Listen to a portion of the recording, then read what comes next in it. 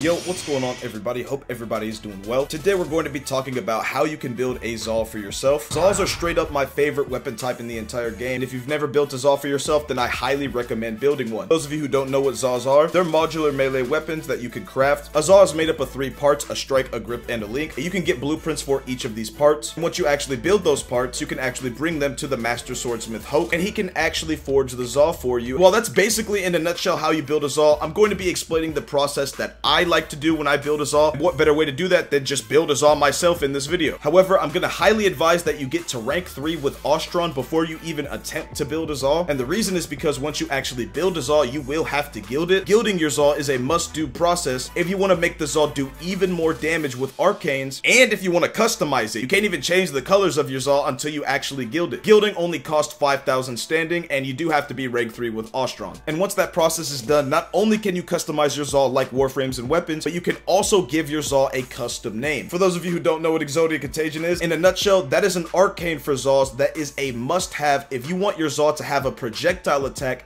that can do millions and potentially billions of damage with just a single projectile. It's pretty amazing. Let's go ahead and dive into how you actually build a Zaw. First things first, you're gonna wanna head over to Cetus and talk to the Master Swordsmith himself, Hok. Like I said earlier, a Zaw is made of a strike, a grip, and a link, and you can get a blueprint for each of those parts, and this is exactly where you get those parts. Choose wisely, there are over a thousand different combinations when it comes to Zaws, and all of them have different properties. At the end of the day, they're all still gonna hit like a fucking truck if you build it right, but still you wanna choose your parts wisely. Whenever you choose a strike, you wanna make sure you know which type of weapon you want because the strike is going to determine what type of Zaw you have. So for example, since I got the Sepfahn blueprint, as you can see here is a balanced Zaw strike for Nikana and staff weapon, which is perfect for me because I'm going for a Nikana build. Who knows, maybe you want a staff, maybe you want a hammer. There are many options to choose from, so pick wisely. When it comes to the grip things you need to keep in mind, do you want your Zaw to be a one-handed Zaw or a two-handed type of Zaw? The grip will make a big difference in the actual speed of the Zaw. Again, it's really up to you and what type of Zaw you're trying to build. I'm gonna go with the Korb grip, which is a one-handed grip and has really good damage. And then you really need to choose wisely when it comes to picking your link, because links actually grant a variety of stat bonuses to the weapon with corresponding penalties, which means no matter which link you pick, it will have a positive and a negative, or maybe it will have two positives and two negatives. And like I said earlier, I'm trying to build an Akana Zaw, which means I'm going for damage and critical chance, which makes the Vargeet 2 Ruhang link perfect for me because I'm not really worried about speed or status chance on a weapon where I'm throwing a projectile that does a bunch of damage. You know what I mean? But again, this is just how I like to build my Zaws. If you're a little bit confused, I highly recommend going over to this website right here. This is the Zaw page on the Warframe wiki on fandom.com. The link will be in the description down below. And this website is just super helpful when it comes to looking at actual numbers when it comes to the Zaw parts. Like for example, you can see the Sepfahn Strike right here is for Nikanas and staffs and it also does slash damage. Same with the grips, you get to see the stats of the grips right here. This is why I like to choose Korb. That damage is really all I'm worried about at the end of the day. But you know, to each their own, choose whichever one you want, and it's the same with the links. They got all of the actual stats next to them, and the reason I actually went with Vargeet 2 Ruhang is so I can get as much crit chance as possible. And as you can see, Vargeet 2 Ruhang actually increases critical chance by plus 2, which is what I personally really like, but at the end of the day, choose whichever combination of parts you want. So now that you actually have the blueprints for your Zaw parts, it's time to actually build them and get the materials for them, which is where I'm going to recommend the Warframe wiki on fandom again. It just makes this process so much easier for actually finding the resources you need, and I'm going to explain how. So for example, we need to build the Sepfahn Strike Zaw. Once we actually go to the Sepfahn Strike Zaw page, we can see the manufacturing requirements right here. And the best part is you can actually click on these resources and it'll tell you exactly what they are and where to get them. Like Coprite Alloy, for example. I'm gonna need 60 Coprite Alloy if I want to build this Sepfahn Strike Zaw. And whenever I actually go to the Coprite Alloy page on the wiki, it tells me that I can actually get a blueprint from Old Man Suumbaat in Cetus. Once you get the blueprint, this is what you're to need to build the blueprint. I'm to need 50 Rubedo, 400 Ferrite, and 20 Coprun. You can get these on specific planets by farming each mission, and if you're not sure, guess what? You can always click on the actual link, and it'll take you to the page and tell you where you could actually farm these. So now that it's time to actually collect the materials, we're to break this down into three different processes. We're to have to do some mining, some fishing, and some some hunting. And I'm gonna go over exactly how I like to do each of these processes. Now keep in mind, I'm sure there are other ways you could actually do this. This is just my method of actually collecting the materials so I can build this all myself. So let's go ahead and start with fishing. Once again, I'm gonna highly recommend Warframe fandom a lot throughout this video because it's just so goaded. Long story short, you're gonna need a fishing spear, bait, and dye. In reality, all you need is a fishing spear and bait, but at the end of the day, having dye makes this process infinitely easier. And you can buy the fishing spear you need from Hai-Luk, who is of course in Cetus. You can also buy bait and dye from her. And ladies and gentlemen, this is why I'm gonna recommend you this website. So you're gonna wanna scroll down till you get to this part right here where it says species and plains of Eidolon. All you simply have to do is open view common species list and you can see all the different types of fish. As you saw earlier, for my Zaw, I actually have the Vargeet 2 Ruhang Link. And if we look at the manufacturing requirements, I need five Tralok eyes. This is gonna show you how to actually get Tralok. As you can see, all I gotta do is click Tralok and it tells me what biome they're in, when they spawn, and effective spears that I can use to catch them. But what if you actually don't know where the biomes are? Well, guess what? This website is legit as fuck. If you scroll down to fishing locations and biomes, you can just quite literally open this picture in another tab. And as you can see, you got a whole fishing zone map of Cetus. Shout out to Kaio Rek who made this map because this is amazing. And since we're looking for Tralok that spawn in the daytime in the ocean,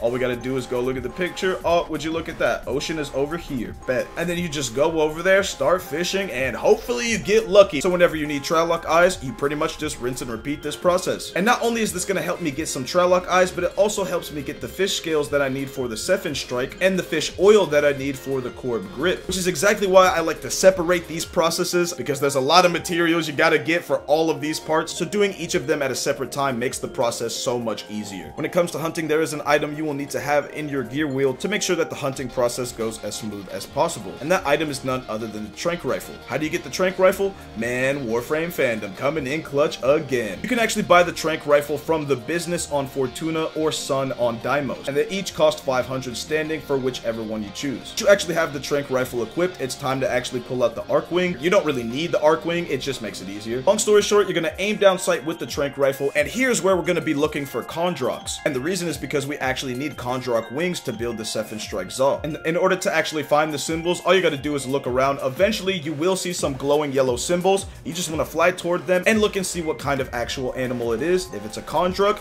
you've hit the jackpot. And from here, you're gonna wanna sneak up on the Condrocs. Don't get too close, but make sure that you can actually kill them before they take off. And once you kill them, they will drop some Condroc wings. I'm just gonna be honest, you could really save this process for last if you wanted because it definitely takes the shortest amount of time. Depending on how long you spend fishing, sometimes you may want just a little bit of a break. Now that we got the hunting out the way, there's only one part of the process left, which is to get the mining materials we need. And for this, you're gonna need another gear wheel item called the Sunpoint Plasma Drill. You can get a Sunpoint Plasma Drill from Smokefinger in Fortuna. It will cost 2500 standing, but at the end of the day, it is hella worth it. Once you have it equipped in your hand from the gear wheel, it's time to go mining. Load up the Minecraft because we're going into a cave. So what I like to do is bring up the map, and I just like to pick this one on the left. Once you get here, all you gotta do is aim down sight with the Sunpoint Plasma Drill, find the ore color that you need, and get to mining away. Now I'm gonna be real here, this part may get a little bit controversial because I don't know how you like to mine. Normally, a lot of people like to hold down the beam. Make sure you're aiming the beam correctly and you know, you time it perfectly so you can get the most amount of ore you can. And I pretty much do this like I'm speed running the mining process. And the reason I do that is because, well, truth be told, this is just how I like to do it. You do get a lot less when you do it this way, but there are so many ore veins around the map in so many caves that it doesn't really matter at the end of the day. You could just go to another cave when you're done with one, which is exactly why I don't waste time just holding down the trigger. I like to go fast and just speed through the whole thing. And if you had a speed warframe on like Volt, you could make this process even faster. And again, as you can see on the website,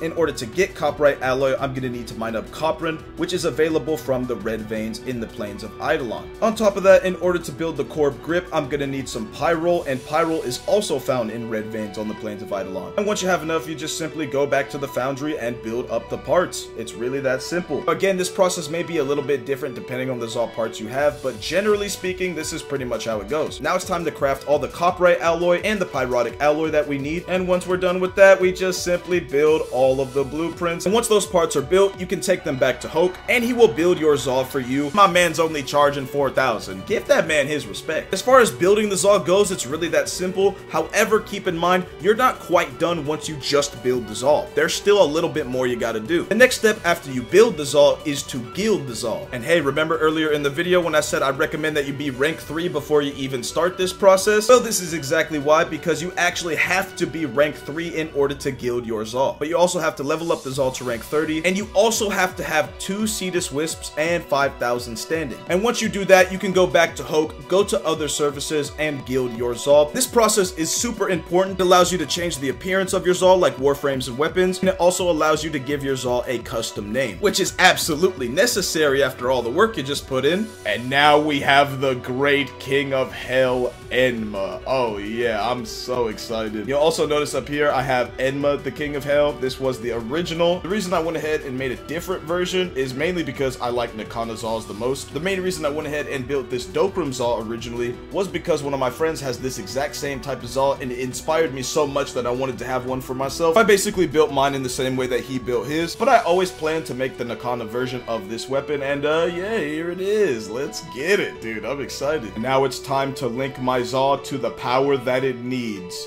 I got the arcane slots ready, and there it is. Boom!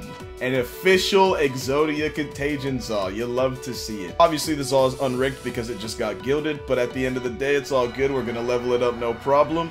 And, uh, yeah guys, that's pretty much going to be it for this video. If you didn't know how to build a Zaw already, hopefully this video has helped you to learn how to build a Zaw on your own. And even if you did know how to build a Zaw, I still wanted to share my perspective on how I personally go about building my Zaws and just how I like to do it. I know the mining thing might not be the best at the end of the day, but sometimes I'm just in a hurry, man. I'll just go to another cave. Now that you actually have gilded your Zaw, if you want to take it to the next level from there, I got a whole nother video on how to be a Zaw master. I go into detail about how you can actually make your Exodia Contagion Zaw stronger. I also got another video of me hitting damage cap with a Zaw. And of course, that video will also be in the description. Before this video ends, real quick, just wanted to say thank you guys so much for all the support on the channel. Really do appreciate all the support that you guys show on the videos, especially when it comes to Exodia Contagion Zaws. You guys know I absolutely love Zaws. They're my favorite weapon type in the entire game. And Nikana Zaws in particular are my absolute favorite of the bunch. And yeah, guys, hope you enjoyed the video, and that's going to be it for me. Keep your head up, stay positive, and with that being said, thanks for watching.